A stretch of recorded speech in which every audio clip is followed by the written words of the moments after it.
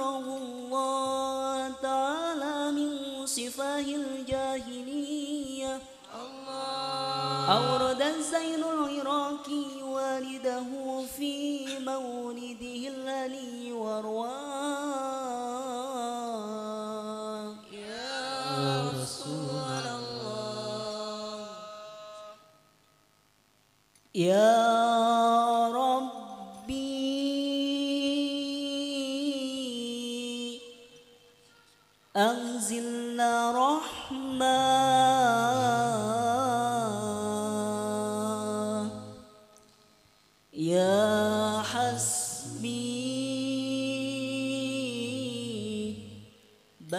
一声风